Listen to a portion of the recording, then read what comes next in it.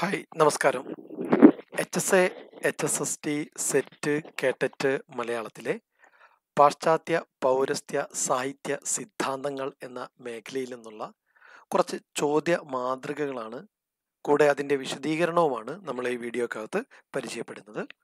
എല്ലാ തവണയും പറയാറുള്ള പോലെ ആരെങ്കിലും ചാനലും സബ്സ്ക്രൈബ് ചെയ്തില്ലെങ്കിൽ സബ്സ്ക്രൈബ് ചെയ്തേക്കുക. പാശ്ചാത്യ ചിന്തയുടെ പ്രോദ്ഘാടകൻ എന്നറിയപ്പെടുന്നത് ആരാണ്? പാശ്ചാത്യ ചിന്തയുടെ പ്രോദ്ഘാടകൻ എന്നറിയപ്പെടുന്നത് ആരാണ്? പ്ലേറ്റോ ആണ് പാശ്ചാത്യ ചിന്തയുടെ പ്രോദ്ഘാടകൻ എന്നറിയപ്പെടുന്നത്. പ്ലേറ്റോ ആണ് പാശ്ചാത്യ ചിന്തയുടെ പ്രോദ്ഘാടകൻ എന്നറിയപ്പെടുന്നത്. Republic dialogues Ion apology statesman എന്നിവയാണ് പ്ലേറ്റോയുടെ കൃതികൾ. Republic dialogues Ion apology statesman എന്നിവയാണ് പ്ലേറ്റോയുടെ കൃതികൾ. ആശയം അനുകരണം പ്രചോദനം കാവ്യനിരാസം എന്നിവയാണ് പ്ലേറ്റോയുടെ തത്വങ്ങൾ ആശയം അനുകരണം പ്രചോദനം കാവ്യനിരാസം എന്നിവയാണ് പ്ലേറ്റോയുടെ തത്വങ്ങൾ ആശയത്തിന്റെ അനുകരണം മാത്രമാണ് കല എന്ന് വാദിച്ചത് പ്ലാറ്റോയാണ്. ആശയത്തിന്റെ അനുകരണം മാത്രമാണ് കല എന്ന് വാദിച്ചത് പ്ലാറ്റോയാണ്. പ്ലാറ്റോയുടെ ആദർശ രാഷ്ട്രമാണ് റിപ്പബ്ലിക്. റിപ്പബ്ലിക് എന്നത് പ്ലേറ്റോയുടെ ആദർശ രാഷ്ട്രമാണ്. പ്ലേറ്റോ സ്ഥാപിച്ച വിദ്യാലയമാണ് അക്കാദമി. പ്ലേറ്റോ സ്ഥാപിച്ച വിദ്യാലയമാണ് അക്കാദമി. പ്ലേറ്റോ മാതൃകയാക്കുന്ന ഗ്രീക്ക് കവി ഹോമറാണ്. പ്ലേറ്റ് പ്ലേറ്റോ മാതൃകയാക്കുന്നത് ഗ്രീക്ക് കവി ഹോമറിനെയാണ്. അനുകരണത്തിന്റെ അനുകരണമാണ് കല എന്ന് പറഞ്ഞത് പ്ലേറ്റോ ആണ്. അനുകരണത്തിന്റെ അനുകരണമാണ് കല എന്ന് പറഞ്ഞതും പ്ലേറ്റോ ആണ്. അതുപോലെ തത്വജ്ഞാനത്തിന്റെ താഴെയാണ് കല എന്ന് പറഞ്ഞതും പ്ലേറ്റോ ആണ്. തത്വജ്ഞാനത്തിന്റെ താഴെയാണ് കല എന്ന് അഭിപ്രായപ്പെട്ടതും പ്ലേറ്റോ ആണ്. അടുത്ത ചോദ്യം പരിചയപ്പെടാം. പ്ലാറ്റോയുടെ ആദ്യ വിമർശകനും ശിഷ്യനുമായ ചിന്തകൻ A. Aristotle B. Longinus C. Croce D. Dante. ഇതിലാരാണ് പ്ലേറ്റോയുടെ ആദ്യ വിമർശകനും? അദ്ദേഹം തന്നെയാണ് പ്ലേറ്റോയുടെ ആദ്യത്തെ ശിഷ്യനും. അങ്ങനെ കടന്നു വന്നിട്ടുള്ള ചിന്തകൻ ആരാണ്? അരിസ്റ്റോട്ടിലാണ് പ്ലേറ്റോയുടെ ആദ്യ വിമർശകനും ശിഷ്യനുമായ ചിന്തകൻ. അരിസ്റ്റോട്ടിൽ സ്ഥാപിച്ച വിദ്യാലയമാണ് ലേസിയം അല്ലെങ്കിൽ പരിക്രമണ വിദ്യാലയം. അരിസ്റ്റോട്ടിൽ സ്ഥാപിച്ച വിദ്യാലയമാണ് ലേസിയം അല്ലെങ്കിൽ പരിക്രമണ വിദ്യാലയം. ദി പൊയറ്റിക്സ് എന്ന അരിസ്റ്റോട്ടിലിന്റെ ഗ്രന്ഥമാണ് ലോകത്തിലെ ആദ്യത്തെ കാവ്യശാസ്ത്ര ഗ്രന്ഥമായി പരിഗണിക്കുന്നത്. ദി പൊയറ്റിക്സ് എന്ന അരിസ്റ്റോട്ടിലിന്റെ ഗ്രന്ഥമാണ് ലോകത്തിലെ ആദ്യത്തെ കാവ്യശാസ്ത്ര ഗ്രന്ഥമായി പരിഗണിക്കുന്നത്. കലയുടെ മഹാത്മ്യം അനുകരണമാണ് എന്ന് വാദിച്ചത് അരിസ്റ്റോട്ടിലാണ്. കലയുടെ മഹാത്മ്യം അനുകരണമാണ് എന്ന് വാദിച്ചത് അരിസ്റ്റോട്ടിലാണ്. അരിസ്റ്റോട്ടിലിന് ഇഷ്ടപ്പെട്ട കലാരൂപം ദുരന്ത നാടകമാണ്. അരിസ്റ്റോട്ടിലിന് ഇഷ്ടപ്പെട്ട കലാരൂപം ദുരന്ത നാടകമാണ്. ട്രാജഡി. ട്രാജഡിയെ നിർവചിക്കുന്ന അരിസ്റ്റോട്ടിലിന്റെ ഗ്രന്ഥം ദി പോയറ്റിക്സ് ആണ്. ട്രാജഡിയെ നിർവചിക്കുന്ന അരിസ്റ്റോട്ടിലിന്റെ ഗ്രന്ഥം ദി പൊയറ്റിക്സ് ആണ്. ഹാമേർഷ്യ എന്നതുകൊണ്ട് അരിസ്റ്റോട്ടിൽ ഉദ്ദേശിക്കുന്നത് ധീരോധാത്തനായ നായകന് സംഭവിക്കുന്ന പിഴ എന്നാണ്. ഹാമേർഷ്യ എന്നതുകൊണ്ട് അരിസ്റ്റോട്ടിൽ ഉദ്ദേശിക്കുന്നത് ധീരോധാത്തനായ നായകന് സംഭവിക്കുന്ന പിഴ എന്നാണ്. കഥാർസിസ് എന്ന പദം അരിസ്റ്റോട്ടിൽ സ്വീകരിച്ചത് ഹിപ്പോക്രാറ്റിസിന്റെ വൈദ്യശാസ്ത്ര ഗ്രന്ഥത്തിൽ നിന്നാണ്. കഥാർസിസ് എന്ന പദം അരിസ്റ്റോട്ടിൽ സ്വീകരിച്ചത് ഹിപ്പോക്രാറ്റിസിന്റെ വൈദ്യശാസ്ത്ര ഗ്രന്ഥത്തിൽ നിന്നാണ്. അടുത്ത ചോദ്യം ഒന്ന് പരിചയപ്പെട്ടേക്കാം. ഓൺ ദ സബ് ലൈം എന്ന കൃതി രചിച്ചത് ആരാണ്? ഓൺ ദ സബ് ലൈം എന്ന കൃതി രചിച്ചത് ലോങ്കിനസ് ആണ്.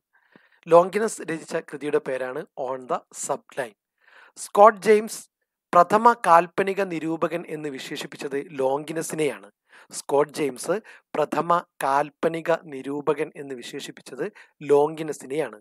ഉദാത്തതയെ നിർവചിച്ചത് ലോങ്കിനസ് ആണ് ഉദാത്തതയെ നിർവചിച്ചത് ലോങ്കിനസ് ആണ് മഹോന്നതമായ മനസ്സിന്റെ സൃഷ്ടിയാണ് ഉദാത്തത എന്നാണ് ലോങ്കിനസ് നിർവചിച്ചിരിക്കുന്നത്. മഹോന്നതമായ മനസ്സിന്റെ സൃഷ്ടിയാണ് ഉദാത്തത എന്നാണ് ലോങ്കിനസ് നിർവചിച്ചിരിക്കുന്നത്. ആർസ് പോയറ്റിക്ക എന്ന കൃതി രചിച്ചത് ആര്? ആർസ് പോയറ്റിക്ക എന്ന കൃതി രചിച്ചത് ആരാണ്? ഓപ്ഷൻസ് ഉണ്ട്. Croce Horace Plato Aristotle. ഇതിൽ ആരാണ് ആർസ് പോയറ്റിക്ക എന്ന കൃതി രചിച്ചിരിക്കുന്നത്? ഹോറസ് ആണ് ആർസ് പോയറ്റിക്ക എന്ന കൃതി രചിച്ചിരിക്കുന്നത്. ഹോറസ് ഇനി ഹോറസിനെ കുറിച്ചുള്ള ഒരു വിശദീകരണം നമുക്ക് പരിചയപ്പെടാം. ഹോറസിന്റെ കാവ്യ പഠന ഗ്രന്ഥമാണ് ആർസ് പോയറ്റിക്ക പല പരീക്ഷകൾക്കും ഈ ആർസ് പൊയറ്റിക്ക എന്ന കൃതിയുടെ രചയിതാവ് ആരാണെന്ന് ആരാണെന്നുള്ള ചോദ്യം കാണാനിടയായിട്ടുണ്ട്. ഹോറസിന്റെ കാവ്യ പഠന ഗ്രന്ഥമാണ് ആർസ് പൊയറ്റിക്ക.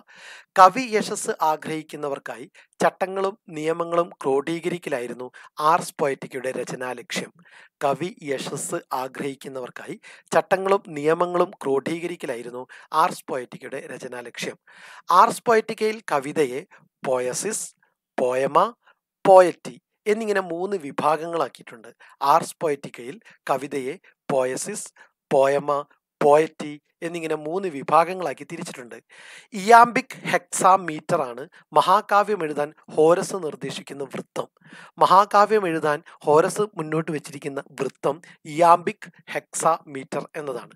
നാടകത്തിലെ അവിഭാജ്യ ഘടകമായി ഹോരസ് കാണുന്നത് ഗായക സംഘത്തെയാണ് കോറസ് ആണ്. നാടകത്തിലെ അവിഭാജ്യ ഘടകമായി ഹോറസ് കാണുന്നത് ഗായക സംഘമാണ് അല്ലെങ്കിൽ കോറസ് ആണ്. എയ്സ്തറ്റിക്സ് സൗന്ദര്യശാസ്ത്രം എന്നത് ആരുടെ കൃതിയാണ്? എയ്സ്തറ്റിക്സ് അല്ലെങ്കിൽ സൗന്ദര്യശാസ്ത്രം എന്നത് ആരുടെ കൃതിയാണ്? ഓപ്ഷൻസ് ഉണ്ട്. Benedetto Croce Horace Plato Aristotle ഈ നാലുപേരിൽ ആരാണ് എയ്സ്തറ്റിക്സ് എന്ന കൃതി രചിച്ചിരിക്കുന്നത്? എയ്സ്തറ്റിക്സ് എന്ന കൃതി രചിച്ചിരിക്കുന്നത് ബെനഡറ്റോ ക്രോച്ചയാണ് ബെനഡറ്റോ ക്രോച്ചയാണ് എയ്സ്തറ്റിക്സ് എന്ന കൃതി രചിച്ചിരിക്കുന്നത്. അന്തർജ്ഞാനത്തിൽ നിന്നാണ് കലയുടെ പിറവി എന്ന് അഭിപ്രായപ്പെട്ടത് ബെനഡറ്റോ ക്രോച്ചയാണ് അന്തർജ്ഞാനത്തിൽ നിന്നാണ് കലയുടെ പിറവി എന്ന് അഭിപ്രായപ്പെട്ടത് ബെനഡറ്റോ ക്രോച്ചെ. വ്യക്തിപരമായ അറിവ് എന്നതുകൊണ്ട് ബെനഡറ്റോ ക്രോച്ച ഉദ്ദേശിച്ചത് അന്തർജ്ഞാനപരമായ അറിവാണ്. വ്യക്തിപരമായ അറിവ് എന്നതുകൊണ്ട് ബെനഡറ്റോ ക്രോച്ചെ ഉദ്ദേശിച്ചത് അന്തർജ്ഞാനപരമായ അറിവാണ്. ക്രോച്ചയുടെ അഭിപ്രായത്തിൽ കലാപ്രതിഭയ്ക്ക് ആവശ്യമായ സിദ്ധിയാണ് പ്രതിഫലനാത്മബോധം. ക്രോച്ചയുടെ അഭിപ്രായത്തിൽ കലാപ്രതിഭയ്ക്ക് ആവശ്യമായ സിദ്ധിയാണ് പ്രതിഫലനാത്മബോധം അല്ലെങ്കിൽ റിഫ്ലക്റ്റീവ് കോൺഷ്യസ്നസ്. അതാണ് ക്രോച്ചയുടെ അഭിപ്രായത്തിൽ കലാപ്രതിഭയ്ക്ക് ആവശ്യമായ സിദ്ധി. ഡിവൈൻ കോമഡി എന്ന കൃതി രചിച്ചതാര്? ഡിവൈൻ കോമഡി എന്ന കൃതി രചിച്ചതാരാണ്? Benedetto Croce Horace Dante Aristotle ഈ ഓപ്ഷൻസിൽ നിന്ന് ആരാണ് ഡിവൈൻ കോമഡി രചിച്ചിരിക്കുന്നത്? ദാന്തയാണ് ഡിവൈൻ കോമഡി എന്ന കൃതി രചിച്ചത്. ദാന്തയാണ് ഡിവൈൻ കോമഡി എന്ന കൃതി രചിച്ചത്. ദാന്തയുടെ മഹാകാവ്യമാണ് ഡിവൈൻ കോമഡി ദാന്തയുടെ മഹാകാവ്യമാണ് ഡിവൈൻ കോമഡി നാട്ടുഭാഷയ്ക്ക് വേണ്ടി വാദിച്ച കവിയായ വിമർശകനാണ് ദാന്തെ. നാട്ടുഭാഷയ്ക്ക് വേണ്ടി വാദിച്ച കവിയായ വിമർശകനാണ് ദാന്തെ.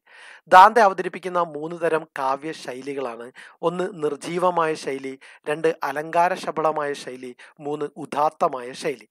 കവിതയ്ക്ക് ഏറ്റവും അനുയോജ്യമായ ശൈലിയായി ദാന്തെ പറയുന്നത് ഉദാത്തമായ ശൈലിയാണ്. കവിതയ്ക്ക് ഏറ്റവും അനുയോജ്യമായ ശൈലിയായി മുന്നോട്ട് വെക്കുന്നത് ഉദാത്തമായ ശൈലിയെയാണ്. എസ് എ ഓൺ ക്രിറ്റിസിസം ആരുടെ കൃതിയാണ്? എസ് എ ഓൺ ക്രിറ്റിസിസം ആരുടെ കൃതിയാണ്? Options A Benedetto Croce B Horace C Alexander Pope D Aristotle ഇവരിൽ ആരാണ് എസ് എ ഓൺ ക്രിറ്റിസിസം എന്ന കൃതി രചിച്ചിരിക്കുന്നത്? അലക്സാണ്ടർ പോപ്പാണ് എസ് എ ഓൺ ക്രിറ്റിസിസം എന്ന കൃതി രചിച്ചിരിക്കുന്നത്. എസ് എ ഓൺ ക്രിറ്റിസിസം എഴുതാൻ അലക്സാണ്ടർ പോപ്പിനെ പ്രേരിപ്പിച്ച കൃതി ആസ് പോയറ്റിക്കയാണ്. എസ് എ ഓൺ ക്രിറ്റിസിസം എഴുതാൻ അലക്സാണ്ടർ പോപ്പിനെ പ്രേരിപ്പിച്ച കൃതി ഹോരസിന്റെ ആർസ് പോയറ്റിക്ക എന്ന കൃതിയാണ്. നിയോ ക്ലാസിസത്തിന്റെ ജീർണതയ്ക്കെതിരെയുണ്ടായ പ്രസ്ഥാനം ഏതാണ്? നിയോ ക്ലാസിസത്തിന്റെ ജീർണതയ്ക്കെതിരെയുണ്ടായ പ്രസ്ഥാനം താഴെ പറയുന്നതിൽ ഏതാണ്? A ശുദ്ധലാവണ്യവാദം B magical realism C imagism D കാൽപ്പനികത. ഈ നാലെണ്ണത്തിൽ ഏതാണ് നിയോ ക്ലാസിസത്തിന്റെ ജീർണതയ്ക്കെതിരെയുണ്ടായ പ്രസ്ഥാനം? ഓപ്ഷൻസ് ഡി ആണ് കാൽപ്പനികതയാണ് നിയോ ക്ലാസിസത്തിന്റെ ജീർണതക്കെതിരെയുണ്ടായ പ്രസ്ഥാനം. കാൽപ്പനികതയുടെ തുടക്കമായി കരുതുന്ന ഗ്രന്ഥം റൂസോയുടെ കൺഫഷൻസ് ആണ്. കാൽപ്പനികതയുടെ തുടക്കമായി കരുതുന്ന ഗ്രന്ഥം റൂസോയുടെ കൺഫഷൻസ് ആണ്. വേർഡ്സ് വർത്തിന്റെ ലിറിക്കൽ ബാലൻസിന്റെ മുഖവുരയാണ് കാൽപ്പനികതയുടെ മുഖപത്രമായി കണക്കാക്കുന്നത്. വേർഡ്സ് വർത്തിന്റെ ലിറിക്കൽ ബാലൻസ് എന്ന കൃതിയുടെ മുഖവുരയാണ് കാൽപ്പനികതയുടെ മുഖപത്രമായി കണക്കാക്കുന്നത്. ലിറിക്കൽ ബാലൻസ് എന്ന കൃതി പ്രസിദ്ധീകരിച്ച വർഷം ആയിരത്തി എഴുന്നൂറ്റി തൊണ്ണൂറ്റി എട്ടാണ് ലിറിക്കൽ ബാലൻസ് എന്ന കൃതി പ്രസിദ്ധീകരിച്ച വർഷം ആയിരത്തി എഴുന്നൂറ്റി തൊണ്ണൂറ്റി എട്ട് ലിറിക്കൽ ബാലൻസ് രചിച്ചത് വേർഡ്സ്വർത്ത് ആണ്. ലിറിക്കൽ ബാലൻസ് രചിച്ചത് വേർഡ്സ്വർത്ത് ആണ്. ലിറിക്കൽ ബാലൻസിന്റെ മുഖവരിയിൽ വേർഡ്സ്വർത്ത് ചർച്ച ചെയ്യുന്നത് കാവ്യപ്രകൃതി കാവ്യസൃഷ്ടി കാവ്യഭാഷ എന്നിവയാണ് ലിറിക്കൽ ബാലൻസിന്റെ വേർഡ്സ് വർത്ത് ചർച്ച ചെയ്യുന്നത് കാവ്യപ്രകൃതി കാവ്യസൃഷ്ടി കാവ്യഭാഷ എന്നിവയാണ് മനുഷ്യരോട് സംസാരിക്കുന്ന മനുഷ്യൻ എന്നാണ് വേർഡ്സ്വർത്ത് കവിയെ നിർവചിക്കുന്നത്. മനുഷ്യരോട് സംസാരിക്കുന്ന മനുഷ്യൻ എന്നാണ് വേർഡ്സ്വർത്ത് കവിയെ നിർവചിക്കുന്നത്. ബയോഗ്രാഫിയ ലിറ്ററേറിയ എന്ന കൃതി രചിച്ചത് ആര്? ബയോഗ്രാഫിയ ലിറ്ററേറിയ എന്ന കൃതി രചിച്ചത് ആര്? Options A Aristotle B Longinus C Coleridge D Wordsworth ഈ നാലുപേരിൽ ആരാണ് ബയോഗ്രാഫിയ ലിറ്ററേറിയ എന്ന കൃതി രചിച്ചിരിക്കുന്നത്? കോൾറിഡ്ജ് ആണ് ബയോഗ്രാഫിയ ലിറ്ററിയ ലിറ്ററേറിയ എന്ന കൃതി രചിച്ചത്. കോൾറിഡ്ജിന്റെ മറ്റു കൃതികൾ the friend table talk letters aids to reflection lectures on Shakespeare and other poets മഹാവിമർശക ത്രയം എന്നറിയപ്പെടുന്നത് അരിസ്റ്റോട്ടിൽ ലോങ്കിനസ് കോൾറിഡ്ജ് എന്നിവരെയാണ്. മഹാവിമർശക ത്രയം എന്നറിയപ്പെടുന്നത് അരിസ്റ്റോട്ടിൽ ലോങ്കിനസ് കോൾറിഡ്ജ് എന്നിവരെയാണ്. ധ്വനിയെയും രസത്തെയും കുറിച്ച് പറയുന്ന പ്രഥമ ഗ്രന്ഥം ഏതാണ്? ധ്വനിയെയും രസത്തെയും കുറിച്ച് പറയുന്ന പ്രഥമ ഗ്രന്ഥം ഏതാണ്? ഭരതമുനിയുടെ നാട്യശാസ്ത്രം. ഭരതമുനിയുടെ നാട്യശാസ്ത്രമാണ് ധ്വനിയെയും രസത്തെയും കുറിച്ച് പറയുന്ന പ്രഥമ ഗ്രന്ഥം. നാട്യശാസ്ത്രത്തിന്റെ മറ്റൊരു പേര് ഷഡ് സഹസ്രി എന്നാണ്. നാട്യശാസ്ത്രത്തിന്റെ മറ്റൊരു പേര് ഷഡ് സാഹസ്രി എന്നാണ്. ആറായിരം ശ്ലോകങ്ങൾ ഉള്ളതുകൊണ്ടാണ് നാട്യശാസ്ത്രത്തിന് ഷഡ് സഹസ്രി എന്ന പേര് വന്നത്. ആറായിരം ശ്ലോകങ്ങൾ ഉള്ളതുകൊണ്ടാണ് നാട്യശാസ്ത്രത്തിന് ഷഡ് സാഹസ്രി എന്ന പേര് വന്നത്. ഭരതമുനിയുടെ നാട്യശാസ്ത്രത്തിൽ കാണുന്ന അലങ്കാരങ്ങൾ ഉപമ ദീപകം രൂപകം യമകം എന്നിവയാണ്. ഭരതമുനിയുടെ നാട്യശാസ്ത്രത്തിൽ കാണുന്ന അലങ്കാരങ്ങൾ ഉപമ ദീപകം രൂപകം യമകം എന്നിവയാണ്. നാട്യശാസ്ത്രത്തിലെ ആറാം അധ്യായത്തിലാണ് രസസിദ്ധാന്തം പറയുന്നത്. നാട്യശാസ്ത്രത്തിലെ ആറാം അധ്യായത്തിലാണ് രസസിദ്ധാന്തം പറയുന്നത്. രസവികൽപ്പം എന്നാണ് അധ്യായത്തിന്റെ പേര്. ഭരതമുനി നാട്യത്തിന്റെ ആത്മാവായി കരുതുന്നത് രസത്തെയാണ്. ഭരതമുനി നാട്യത്തിന്റെ ആത്മാവായി കരുതുന്നത് രസത്തെയാണ്. ഭരതമുനിയുടെ രസസൂ രസസൂത്രം വിഭാവാനുഭാവ വ്യഭിചാരി സംയോഗാധ്രരാസ നിഷ്പത്തി എന്നതാണ്. വിഭാവാനുഭാവ വ്യഭിചാരി സംയോഗാധ്രരാസ നിഷ്പത്തി വിഭാവം അനുഭാവം വ്യഭിചാരീഭാവം എന്നിവയുടെ സംയോഗത്തിൽ നിന്ന് രസം നിഷ്പന്നമാകുന്നു. വിഭാവം അനുഭാവം വ്യഭിചാരീഭാവം എന്നിവയുടെ സംയോഗത്തിൽ നിന്ന് രസം നിഷ്പന്നമാകുന്നു. ഭട്ടലൊല്ലടന്റെ രസസൂത്ര വ്യാഖ്യാനം ഉൽപ്പത്തിവാദമാണ്. ഭട്ടലൊല്ലടന്റെ രസസൂത്രവാക്യം ഉൽപ്പത്തിവാദമാണ്. എന്നാൽ ഭട്ടനായകന്റെ രസസൂത്ര വ്യാഖ്യാനം ഭുക്തിവാദമാണ്. ഭട്ടനായകന്റെ രസസൂത്ര വ്യാഖ്യാനം ഭുക്തിവാദമാണ്. അഭിനവഗുപ്തന്റെ രസസൂത്ര വ്യാഖ്യാനം അഭിവ്യക്തിവാദമാണ്. അഭിനവഗുപ്തന്റെ രസസൂത്ര വ്യാഖ്യാനം അഭിവ്യക്തിവാദ വാദമാണ് അഭിനവഗുപ്തൻ അഭിവ്യക്തിവാദം. ഭട്ടനായകൻ ഭുക്തിവാദം. ഭട്ടലൊല്ലടൻ ഉൽപ്പത്തിവാദം. ഭട്ടലൊല്ലടൻ ഉൽപ്പത്തിവാദം. ഭട്ടനായകൻ ഭുക്തിവാദം. അഭിനവഗുപ്തൻ അഭിവ്യക്തിവാദം. രസ സിദ്ധാന്തത്തിന്റെ ഉപജ്ഞാതാവ് ആരാണ്? ദണ്ഡിയാണ്. രസസിദ്ധാന്തത്തിന്റെ ഉപജ്ഞാതാവ് ദണ്ഡിയാണ്. രീതി സിദ്ധാന്തത്തിന്റെ അവതാരകൻ വാമനനാണ്. രീതി സിദ്ധാന്തത്തിന്റെ അവതാരകൻ വാമനൻ. എന്നാൽ വക്രോക്തി സിദ്ധാന്തത്തിന്റെ ഉപജ്ഞാതാവ് കുന്തകനാണ്. വക്രോക്തി സിദ്ധാന്തത്തിന്റെ ഉപജ്ഞാതാവ് കുന്തകനാണ്. അനുമിതി അല്ലെങ്കിൽ അനുകൃതിവാദത്തിന്റെ വക്താവ് ശ്രീ ശങ്കുകനാണ്. അനുമിതി അല്ലെങ്കിൽ അനുകൃതിവാദത്തിന്റെ വക്താവ് ശ്രീ ശങ്കുകനാണ്. ധ്വനി സിദ്ധാന്തത്തിന്റെ സ്ഥാപകൻ ആനന്ദവർദ്ധനനാണ്. ധ്വനി സിദ്ധാന്തത്തിന്റെ സ്ഥാപകൻ ആനന്ദവർദ്ധനൻ. പ്രത്യഭിജ്ഞാശാസ്ത്രത്തിന്റെ മുഖ്യ വക്താവ് സിദ്ധ സോമാനന്ദനാണ്. പ്രത്യഭിജ്ഞാശാസ്ത്രത്തിന്റെ മുഖ്യ വക്താവ് സിദ്ധ സോമാനന്ദൻ. സ്ഫോടനവാദത്തിന്റെ അവതാരകൻ ഭർത്തൃ ഹരിയാണ്. സ്ഫോടനവാദത്തിന്റെ അവതാരകൻ ഭർത്തൃ ഹരി. അനുമാന സിദ്ധാന്തത്തിന്റെ സ്ഥാപകൻ വാമനനാണ്. അനുമാന സിദ്ധാന്തത്തിന്റെ സ്ഥാപകൻ വാമനൻ. ഏകാലങ്കാരവാദത്തിന്റെ പ്രയോക്താവ് അയ്യപ്പ ദീക്ഷിതരാണ്. ഏകാലങ്കാരവാദത്തിന്റെ പ്രയോക്താവ് അയ്യപ്പ ദീക്ഷിതർ. എന്താണ് ഏകാലങ്കാരവാദം ഉപമ എന്ന ഒരൊറ്റ അലങ്കാരം മാത്രമാണുള്ളത്. ബാക്കിയെല്ലാം അതിന്റെ ഭേദങ്ങൾ മാത്രമാണ് എന്നുള്ളതാണ് ഏകാലങ്കാരവാദം. ഏകാലങ്കാരവാദത്തിന്റെ പ്രയോക്താവ് അയ്യപ്പ ദീക്ഷിതരാണ്. ഉപമ എന്ന ഒരൊറ്റ അലങ്കാരം മാത്രമാണ് ഉള്ളത് എന്നതാണ് ഏകാലങ്കാരവാദം. ബാക്കിയെല്ലാം അതിന്റെ ഭേദങ്ങൾ മാത്രമാണ് എന്ന് ഏകാലങ്കാരവാദത്തിൽ വിശ്വസിക്കുന്നു. ഭാവങ്ങളെ നാട്യശാസ്ത്രം തരംതിരിക്കുന്നത് എങ്ങനെ? സ്ഥായി വ്യഭിചാരി സാത്വികം. എഴുതിയതിൽ ചെറിയ മാറ്റമുണ്ട്.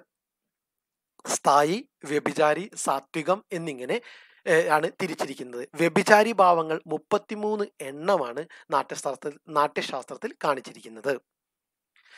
വാമനൻ രീതിയെ നിർവചിക്കുന്നത് എങ്ങനെ? വിശിഷ്ടപാദരചനാരീതി. പാദരചനാ രീതി വിശിഷ്ടമായ പദരചനയോട് കൂടിയതാണ് രീതി എന്നാണ് വാമനൻ രീതിയെ നിർവചിക്കുന്നത്. വിശിഷ്ട പാദ രചനാ രീതി വിശിഷ്ടമായ പദരചനയോട് കൂടിയതാണ് രീതി. രീതിയെ വാമനൻ മൂന്നായി വിഭജിക്കുന്നു. വൈദർഭി ഗൗഡീയ പാഞ്ചാലി. രീതിയെ വാമനൻ മൂന്നായി വിഭജിച്ചിരിക്കുന്നു. വൈദർഭി ഗൗഡീയ പാഞ്ചാലി. സമഗ്ര ഗുണ വൈദർഭി എന്നാണ് വൈദർഭി രീതിക്ക് വാമനൻ നൽകുന്ന നിർവചനം. സമഗ്ര ഗുണ വൈദർഭി എന്നാണ് വൈദർഭി രീതിക്ക് വാമനൻ നൽകുന്ന നിർവചനം. ഓജസ്സും കാന്തിയും ഒത്തിണങ്ങിയതാണ് ഗൗഡീയ രീതിയുടെ സവിശേഷത. ഓജസ്സും കാന്തിയും ഒത്തിണങ്ങിയതാണ് ഗൗഡീയ രീതിയുടെ സവിശേഷത. മാധുര്യവും സൗകുമാര്യതയും ഒത്തിണങ്ങുന്നത് പാഞ്ചാലി രീതിയാണ്. മാധുര്യവും സൗകുമാര്യതയും ഒത്തിണങ്ങുന്നത് പാഞ്ചാലി രീതിയാണ്. ധ്വനി സിദ്ധാന്തത്തിന്റെ അടിസ്ഥാനത്തിലുള്ള കാവ്യ വിഭജനം ഉത്തമം മധ്യമം അധമം എന്നിവയാണ്. ധ്വനി സിദ്ധാന്തത്തിന്റെ അടിസ്ഥാനത്തിലുള്ള കാവ്യ വിഭജനമാണ് ഉത്തമം മധ്യമം അധമം. ഉത്തമ കാവ്യം എന്നാൽ ധ്വനി കാവ്യം ആണ്. ഉത്തമ കാവ്യം എന്നാൽ ധ്വനി കാവ്യമാണ് ഗുണീഭൂത വ്യംഗ്യമാണ് മധ്യമകാവ്യം. ഗുണീഭൂത വ്യംഗ്യമാണ് മധ്യമകാവ്യം. വ്യംഗ്യത്തെക്കാൾ ചമൽക്കാരം വാക്യത്തിന് നൽകുന്നതാണ് ഗുണീഭൂത വ്യംഗ്യം ഗുണീഭൂത വ്യംഗ്യം എന്നാൽ വ്യംഗ്യത്തെക്കാൾ ചമൽക്കാരം വാക്യത്തിന് നൽകുന്നതാണ് ഗുണീഭൂത വ്യംഗ്യം വാച്യാർത്ഥം മാത്രമുള്ള കാവ്യമാണ് അധമകാവ്യം. വാച്യാർത്ഥം മാത്രമുള്ള കാവ്യമാണ് അധമകാവ്യം. ഒരു പരീക്ഷയ്ക്ക് അധമകാവ്യത്തെക്കുറിച്ചുള്ള ചോദ്യം ഉണ്ടായിരുന്നു. അപ്പോൾ വാചാർത്ഥം മാത്രമുള്ള കാവ്യമാണ് അധമകാവ്യം. ഇത്രയുമാണ് ഇന്നത്തെ വീഡിയോയിൽ ഉൾപ്പെടുത്തിയിരിക്കുന്നത്. നിങ്ങൾക്ക് ഇഷ്ടപ്പെട്ടിട്ടുണ്ടെങ്കിൽ വീഡിയോ ലൈക്ക് ചെയ്യുക കൂട്ടുകാർക്ക് ഷെയർ ചെയ്തേക്കുക. Okay thank